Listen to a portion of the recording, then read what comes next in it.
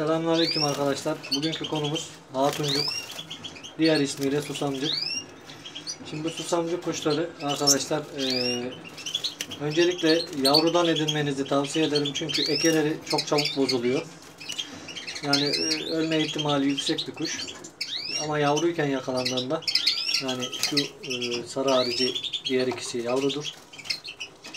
Ölme oranı %0 diyebilirim. Hiçbiri ölmüyor. Güzel de uyum sağlarlar.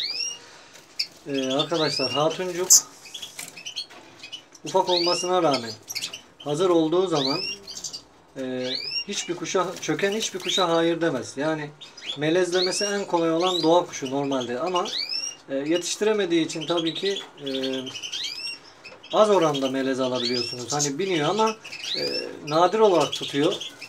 Her kanaryadan tutmuyor. E, melezinin üretken olduğu söyleniyor. Ben daha denemedim. Bu sene ilk defa melezini aldım. E, daha sonra hatuncuk arkadaşlar e, aslına bakarsanız çok muhteşem bir kuş. Neden?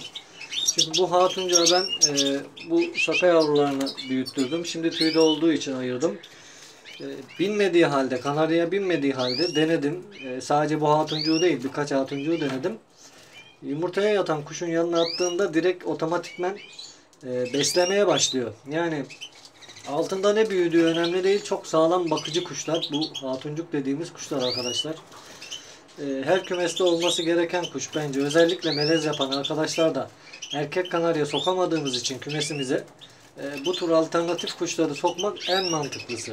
E, saka melezi e, yumurta kırabilir. E, saka yumurta kırabilir. Panyata keza. Bunlar yumurta kırabilir. Bakar ama kırabilir. E, bu hatuncuk kesinlikle yumurtaya dokunmuyor. Çok babacan bir kuş arkadaşlar. Şimdi gelelim hatuncuğun arkadaşlar dediğim gibi erkeğinden bahsediyoruz tabii ki. Dişisiyle alakalı şu an bir deneme yapmadım. O da seneye inşallah. Ee, ben kendi yaşadıklarımı anlatıyorum. Size e, bir eksik bir fazla artık. Şöyle de size melezini göstereceğim.